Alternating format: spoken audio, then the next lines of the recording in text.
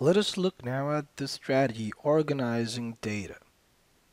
Sometimes simply by neatly and cleverly organizing the data, you gain valuable insight to lead you in the right direction to solve a problem. Consider the sequence 1, 2, 2, 3, 3, 3, 4, 4, 4, 4, and so on. How many terms are needed in order for the sum of the reciprocals of this sequence to equal 100? Let us begin by writing out the sum that we want. We are organizing the data in the way that the problem suggests. Now we see that the sum of these two terms is 1, the sum of these three terms is 1, the sum of these is 1. So the last term in this sequence, since we're adding many ones, the last term must be 1 over 100 100 times. This is the last set of terms.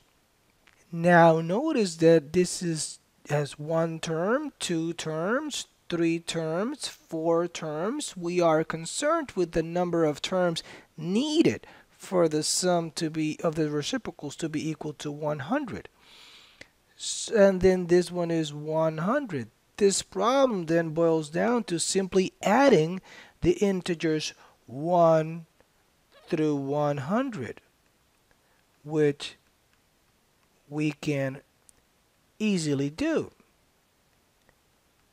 51 plus 98 plus 99 plus 100 we notice that 1 plus 100 is equal to 101 and 2 and 99 the sum of them is also 101 the sum of 98 and 3 is also 101 and the sum of 50 and 51 is also 101 so we have 50 such pairs.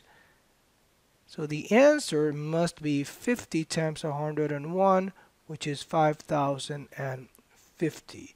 That is the number of terms needed for this sequence to be equal to 100.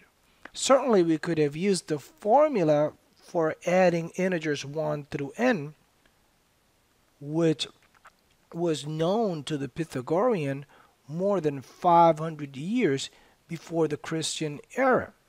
If we would have used the formula, we would have put 100 times 101 divided by, by 2 which is equal to 50 times 101 which is exactly our answer. Thank you.